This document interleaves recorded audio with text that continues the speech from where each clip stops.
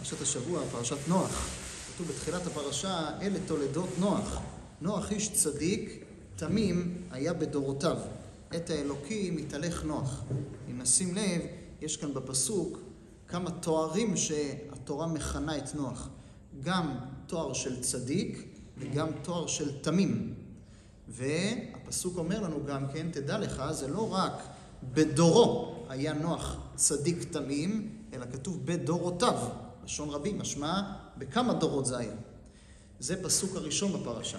אחר כך נסתכל בשני, פרק ז', פסוק א', כתוב, ויאמר השם לנוח, בוא אתה וכל ביתך אל התיבה, כי אותך ראיתי צדיק לפניי בדור הזה. פה כבר יש שינוי. פה לא כתוב עליו שני תוארים, כתוב רק תואר אחד, צדיק. וגם, מה שכתוב קודם, בדורותיו, פה לא כתוב בדורותיו. כי אותך ראיתי צדיק לפניי בדור הזה, לשון יחיד. מה השוני בין זה לזה? אז ידועים דברי רש"י כותב שאומרים מקצת שבחו של אדם בפניו. אדם שאתה בא לשבח אותו, אל תגיד את כל המעלות שיש לו, רק מקצת שבחו.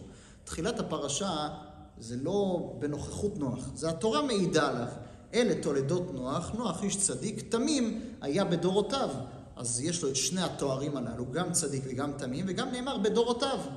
אחר כך זה בפניו של נוח. ויאמר השם לנוח, בוא אתה וכל ביתך אל התיבה, כי אותך ראיתי צדיק לפניי בדור הזה. זה נקרא מקצת שבחו. צדיק, לא כתוב צדיק תמים, וגם כתוב, בדור הזה לא כתוב בדורותיו, זה נקרא מקצת שבחו. ככה רש"י מסביר.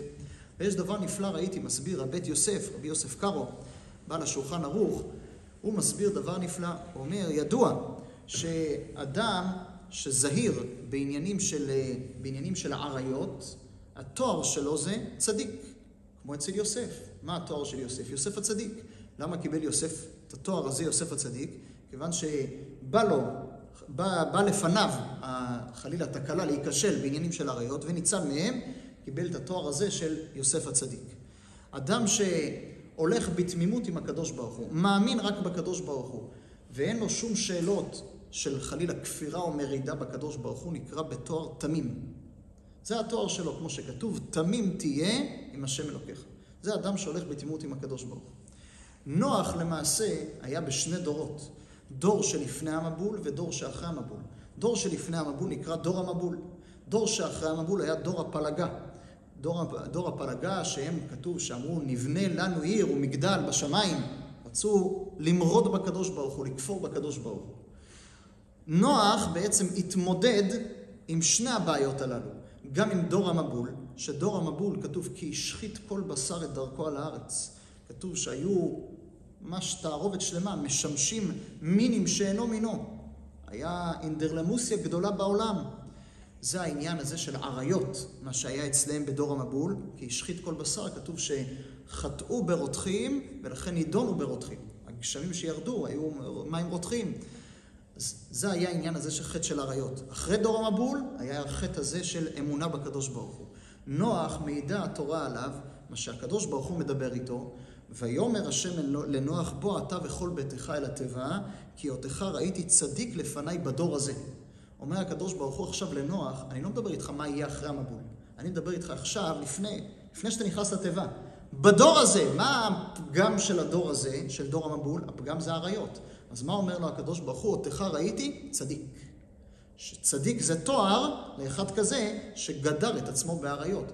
לכן כאן הפסוק לא מזכיר את העניין של צדיק תמים, וגם לא כותב בדורותיו, כי זה מדבר על הדור הזה. תחילת הפרשה שבאה לתת את השבח לנוח, התורה אומרת לנו צדיק תמים.